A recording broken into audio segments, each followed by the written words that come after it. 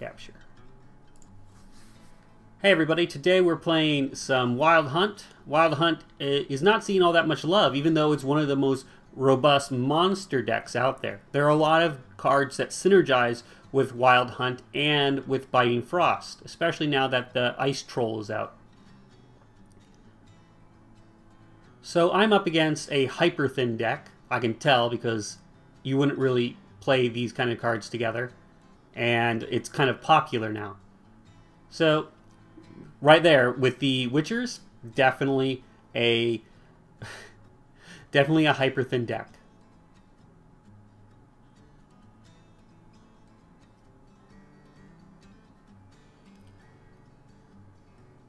I have to kind of calculate how am I going to win this round as few cards as, as possible.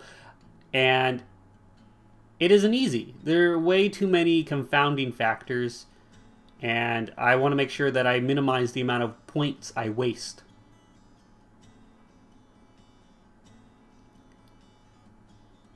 So I just decided to go with a Wild Hunt Warrior and a sh ship. It reduces the amount of waste as much as possible. Now you might be wondering, why would I even dare go two cards under this kind of opponent? I know my opponent has used most of their tempo cards, and most of their winning potential comes in the final round when they've kind of drained me as many cards as possible. So by beating them in round one, I can kind of force their low tempo plays, most notably the shrooms, to be wasted. So you see, they just played a really low tempo play. And I can keep abusing this. Now I have to be careful since they are running shrooms, damage I do is kind of wasted. Now I'm also in a bad position where I'm probably going to take some damage. Uh, I'm going to get hit by a Schirrú. Um, it's not, not much I can do about that. Now they can't Igni me, which is great, because I only have 20 points in that row. Now I set myself up for a Schirrú. But my opponent uses Scorch instead. Now I set myself up for the Schirrú again, because I'm bad. there the Schirrú goes out. But I'm still ahead of them, even though they got a really good Schirrú off. I'm going to kill off the uh, Ciri Dash, because it's locked. It's not going back into the deck. It was a big card, and you do not play... Uh, in the, the deck my opponent is playing right now, you do not play renew because you can't revive Ciri Dash normally. So it's a it's a has higher chance of being wasted. However, I don't think it's that big of a deal. So my opponent uses Franziska.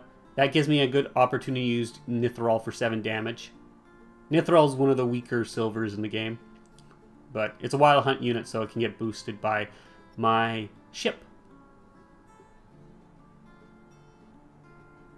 Also, Ge'els can get boosted by the ship because he's Wild Hunt. Pull out another one of my ships.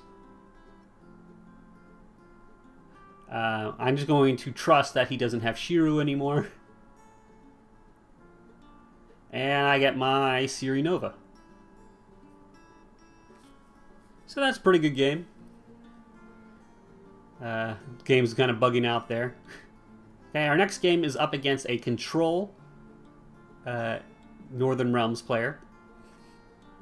Trying to make sure that I have as many one-ofs as possible so that I can maximize the utility of my Slizzards and my Navigators. I might pull out the Slizzards or the Navigators. It depends on my opinion, what comes out of it. Because the Slizzards are not always getting the amount of value as I would like. So here you see that my opponent has played cards that are really difficult for me to deal with because they uh, counter weather.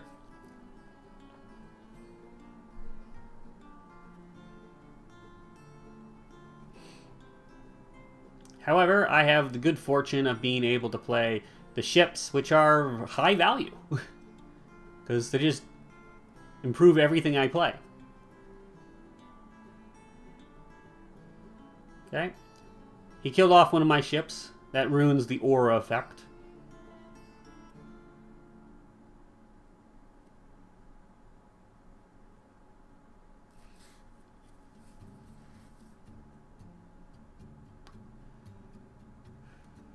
Now, this is a hard choice. Weather isn't any good here, so I might as well just lock my opponent's card. This prevents the armor dinging to be, and stops that from being an issue.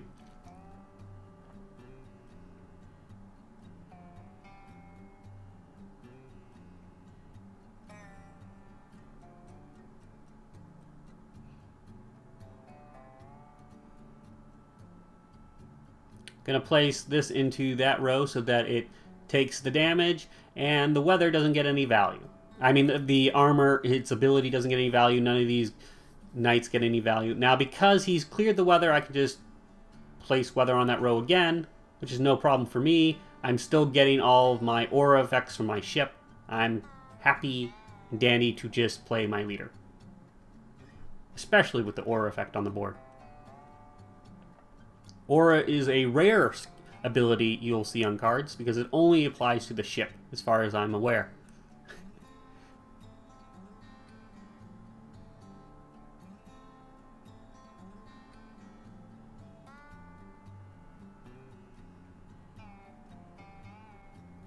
Okay, you see that Al in my hand? I am very happy to see an Al So I make a mistake here where I mulligan out the Navigator. The Navigator was fine because I hadn't played any Wild Hunt Riders, and I could have just played two Wild Hunt Riders.